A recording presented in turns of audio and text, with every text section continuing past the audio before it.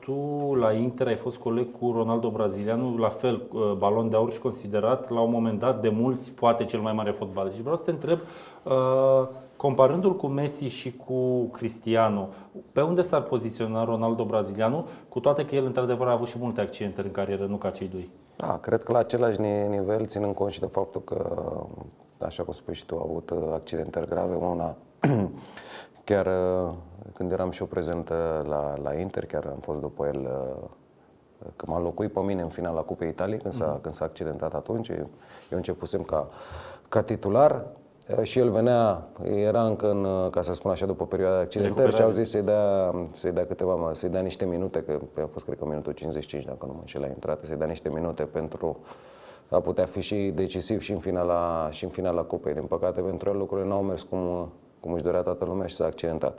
Eu cred că la același nivel. A câștigat și Cupa Mondială, a câștigat uh, o grămadă de, de trofee și în plus talentul pe care ne l-a arătat de-a lungul anilor, eu cred că a fost, uh, îl pune și dă meritul să fie acolo între, la egalitate cu cei doi.